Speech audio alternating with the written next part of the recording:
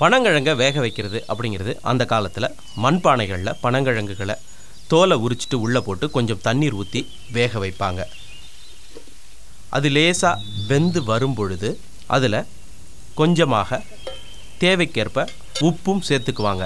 சில பகுதிகளில் மஞ்சத்தூளும் போட்டு வேக வைக்கிற வழக்கம் இருக்குது அது உப்பு பிடித்து நல்லா வெந்த பிறகு எடுத்து அப்படியே ஆற வச்சுட்டு நம்ம உரித்து சாப்பிடலாம்.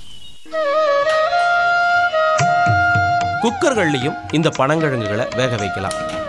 லேசாக குக்கர் கொள்கிற மாதிரி அதை வெட்டி அதில் நீரும் உப்பும் சேர்த்து வேக வைக்கணும். ஒரு விசிலோ ரெண்டு விசிலோ வர வரைக்கும் வேக வைக்கலாம்.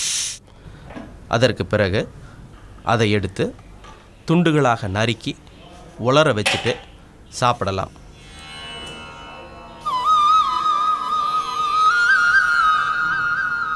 தமிழகத்தின் தென்பகுதிகளில் இந்த வேக வச்ச பனங்கிழங்குகளை சிறு சிறு துண்டுகளாக நறுக்கி எடுத்து அது கூட காய்ந்த மிளகாய் வெள்ளைப்பூண்டு உப்பு சேர்த்து அரைக்கிறாங்க. இது அம்மியிலையும் அரைக்கலாம் இல்லை உரல்லையும் போட்டு இடிக்கலாம். இப்போ நம்ம வசதிக்காக மிக்சிகள்லையும் போட்டு திரிச்சு எடுத்துக்கலாம்.